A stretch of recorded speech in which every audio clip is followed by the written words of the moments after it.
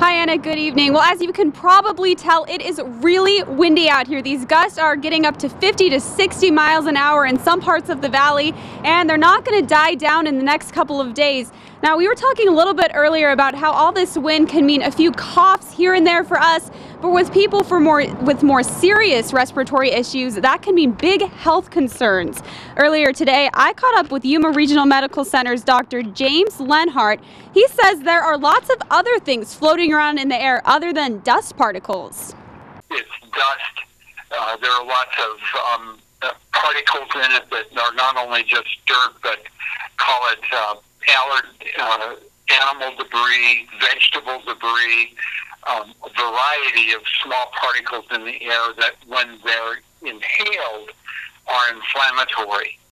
Dr. Lenhart also told me that if you have asthma or other respiratory issues, there are a few things that you can do to breathe a little bit easier. Stay indoors. Um, don't smoke or breathe or breathe anything else that's um, irritating to the lungs.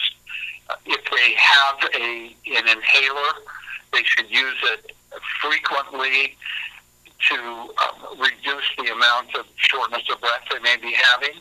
Now, Dr. Lenhart says that if you think you may be having a serious asthma attack or other respiratory issue, it's best to play it safe and contact your doctor or head to the emergency room for treatment. But like Nicole's been telling us, these winds are going to die down by the end of the week. Then we can all breathe a big sigh of relief. I'm Anna Hayes. I'll send it back to you in the studio.